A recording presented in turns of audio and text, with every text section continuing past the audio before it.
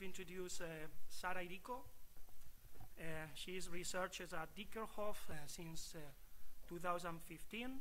And currently she is involved in the LORCENIS project and in, in other research topics like uh, concrete durability. And she got a PhD in collaboration with uh, Buzzi Unicem and working on, on multifunctional innovative concrete and like self-healing technology and so on. So when you want.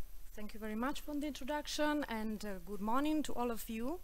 Uh, it's a pleasure to me to uh, take this presentation on Marco Francini behalf of my colleague, uh, which cannot be here for some important uh, business uh, business meeting.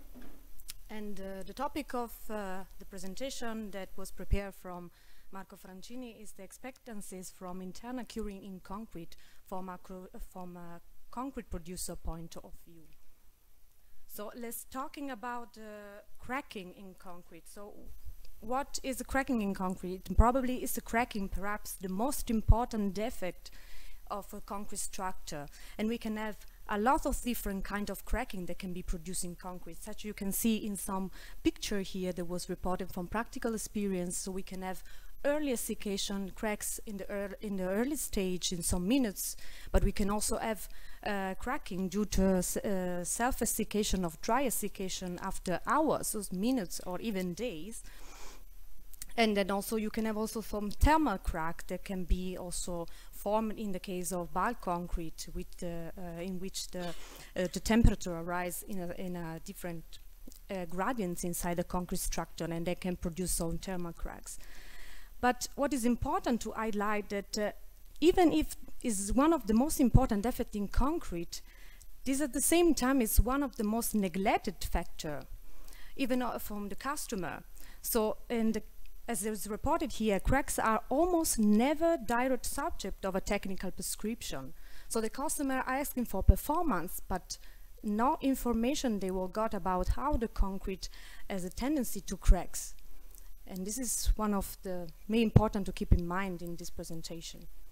So what we can do to avoiding cracks and uh, which are the factor that we can uh, govern or we can handle.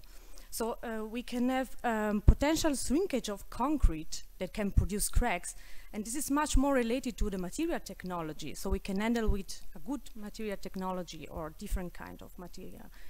But you can also reduce uh, the shrinkage by early curing and this is much more related to construction phases and how to handle the curing condition during the casting of concrete. And um, you can have also, as I, I show you already before in, in, the picture of the example, you can have also effect on shrinkage in a long-term maturation. And this is called in, in a technical way the exercise phases of the infrastructure. But of course, you can also have some cost strains and deformation of the structure over the time. And this is basically due to the structural design, some fatigue or some loads that you can have during the lifetime of a structure. So, but um, what is, was interesting also for me to, to know that rarely a designer knows all the link and the relation between all these factors I showed you before. And uh, usually also a designer is not able to prescribe a right things that you can do in order to avoid all this crack.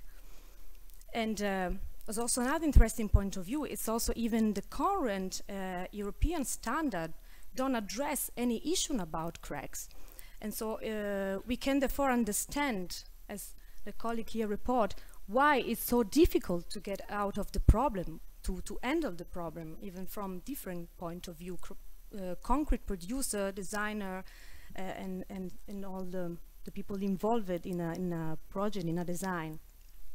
So some expert designer uh, can prescribe some action that can be done to prevent cracks, so low potential shrinkage or some curing action to, to prevent it. But it, even is if, if without also making some modeling or calculation. We discussed it before about some modeling tools that also you're using to predict durability. But also what is done in the practice basically is just lead to some experience of the, the concrete producer or the designer actually. There reported some uh, uh, picture from our practice. So you, what you can do is, uh, uh, as a curing prevention, so to, to um, put an anti-evaporation film on the, on the top of the surface to avoid the desiccation, or just to, to put a waterproof sheets, polymeric uh, sheets, or you can also do, in some cases, not all, but in some cases you can also have a water cover uh, curing to prevent desiccation. This is a, um, an example, a positive example from Unical uh, technology has been done in Milan, in, in Milano. This is the Allianz Tower. Has been done with a low heat and low shrinkage concrete and uh, uh, allowed the designer to replace the Planet Giant Steel submit belt truss with a high performance concrete beam. So basically you can design, you can see here they, they design a concrete with some special, uh, special technical requirements in order to achieve the, the requirements to reduce as much as possible early age cracking and some cracking at the long stage too. This is also uh, a positive example based on curing. So we saw before in this case they manage uh, on the concrete technology. So we are discussing here on the material, what we can do on material technology. But here we have a, an example in, in uh, how um, the Unical group handled the problem of preventing cracking by the curing uh, technology. So in this case was a very big uh, monolithic foundation cast and uh, there was uh, has been done in Italy in a pet food pet food plant producer and this is a, uh, is a bulk concrete as we can say. So the requirements was a low heat cement actually but you can uh, in some in some cases not all but in this case was possible because the, the company had a source of warm water there. And so it was possible even to make a bulk concrete without using a low heat uh, cement but just using Portland cement but to curing the surface of the concrete with the warm water so in this case, you can prevent the gradient of temperature and then you solve thermal cracking and also desiccation due to the evaporation of, of water of the concrete. We have here another example, uh, quite a big set example, but uh, it's just to show you, uh, then um, the colleague want to highlight um, how the cracking is one of the most effect uh, that, that also uh, can uh, under undetermine the trust of the community in concrete because the cracks you can see and uh, when you see cracks you're always just saying immediately the concrete is not good or what happened in the structure is not so durable anymore.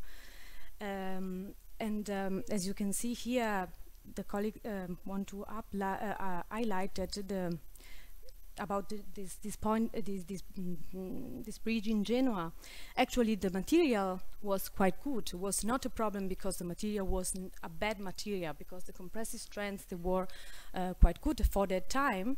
But the problem was here that was an was this, this structure was inadequate to protect the iron.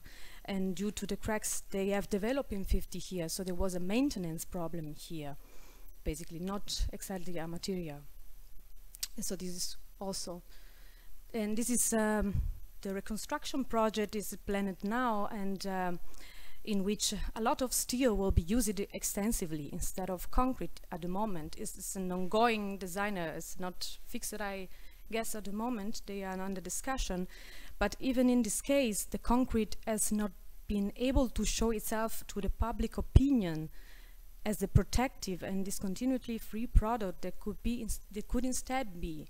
So the, maybe the public opinion tend to move to other solution, as uh, for example to put much more steel in uh, such a structure instead of concrete, because also for the public opinion start to think about maybe the concrete is not the best solution to move uh, to to other solution. And so it is also problem how to communicate and to discuss with the public opinion and the public infrastructure, how the, the, the concrete can be, can be good for this. So um, let's talk then uh, what we can do, what research can do together with practical experience. So the internal curing is considered, and uh, we know as researcher, can be one of the most interesting and promising solution for the concrete producer too, but even together with the designer in order to prescribe and to design some more durable infrastructure. And the most innovative self-curing and self-healing also self-healing technology, uh, if they can prove to be effective in some real case condition, would be also as a lever to promote a new use of concrete and also to be confident of it. One of the problem we have now is to prove the function of this technology in such real condition, even because it's difficult to simulate in the lab, we know. But reducing the importance of external curing and so uh, will also reduce uh, in um, will also result in facilitating the designer in the, the choice of some technology related to material or some curing technology.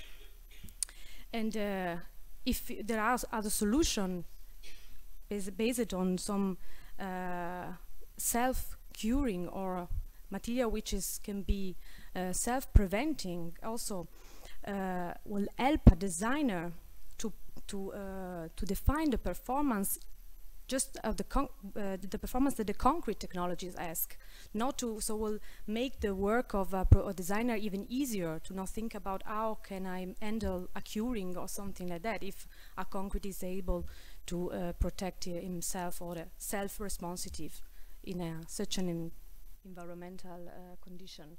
And I found it also interesting that uh, the colleague reports also that the current technology that reduce the concrete shrinkage, for example, from higher than 500 microstrain, uh, less than 200 microstrain, at the moment increase the cost of the pro- product by 20%.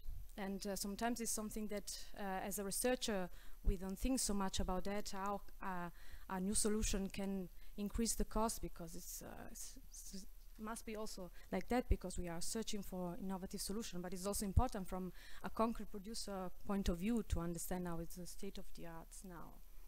So to conclude um, we need to set some goals and to uh, as uh, I will report exactly what the colleague would like to say to transform the great strides of material technology into actual results in the real buildings. And so uh, what we can do what is the point that we as concrete producer we want to to discuss in this uh, in this workshop to decrease as much as possible the amount of residual shrinkage and make it easy to predict and to guarantee the durability um, also know and predict the real effectiveness of self-curing system even in condition very far from the standard one. Is also another good point of uh, discussion. But also I mean, it's also important to promote the request of minimum performance. We discussed it also before in the presentation before. Um, some requirements are just now based on the compressive strength and something that we can measure. But how can be also re- uh, requirements related to durability? It's also difficult uh, to handle, but uh, also some practical concrete producer asked this, and uh, the the question came out. Uh, so also the last point is to develop forecasting calculation model to allow prescribing shrinkage limits with a reliable prediction of cracking risk in the structure. What we can do also for this is also a good point of discussion. Thus I think it's all from my side and uh, open the discussion for any questions. Thank you.